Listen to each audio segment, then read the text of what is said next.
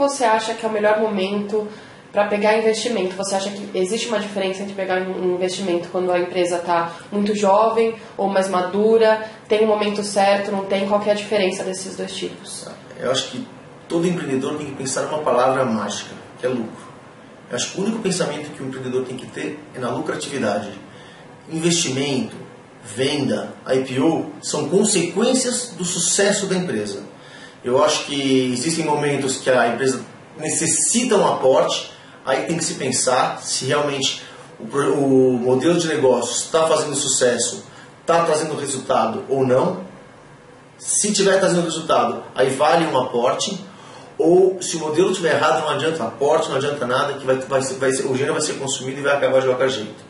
Pensa na lucratividade da empresa que é o mais importante.